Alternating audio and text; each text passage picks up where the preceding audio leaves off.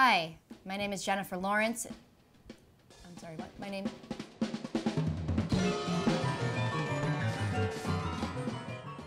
Why do you insist on wearing that sugar coat in the July of your life? Why don't you feel more like a riot and less like the cops? I want to look you in the shards.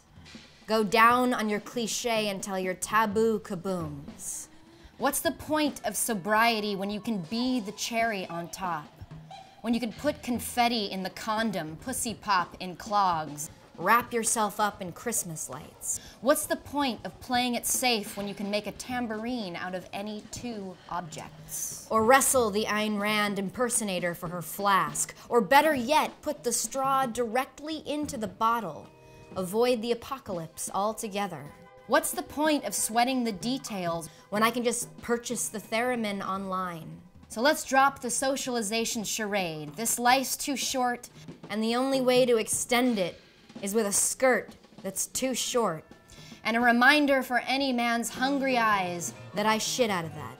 I'm not interested in going out with a bang. I'm interested in going out with your father.